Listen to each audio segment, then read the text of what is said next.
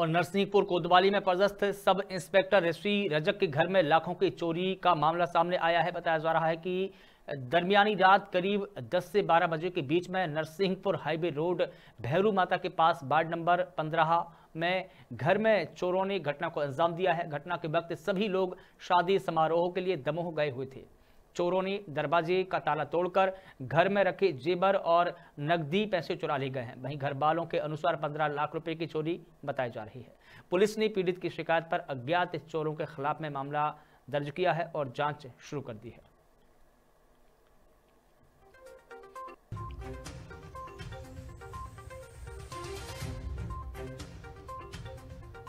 हाँ अभी संज्ञान में आया है। इसकी जाँच की जा रही है। चांदी मिलता है पायल आयल वगैरह वो रखी हुई थी। और शादी के गहने रखे हुए थे अभी शादी होनी थी तो। और मम्मी दीदी लोग के गहने रखे हुए थे पूरे। घर में कोई नहीं था आपके? घर में कोई नहीं था शादी में गया था मैं। और दीदी गई हैं तीर्थ यात्रा में हरदा परिक्रमा में। तो हम लोग कल शादी में गए रहे तो भैया लौट रहे थे नरसिंहपुर जा रहे थे। धौलपुर शादी में गए थे। तो उन्होंने देखा कि कोई नहीं है घर में देख लें एक बार चेक कर लें। ताला टूटा मिला। दरवाज़ा खुला हुआ था। अंदर जाके देखे तो सब सामान फैला हुआ था।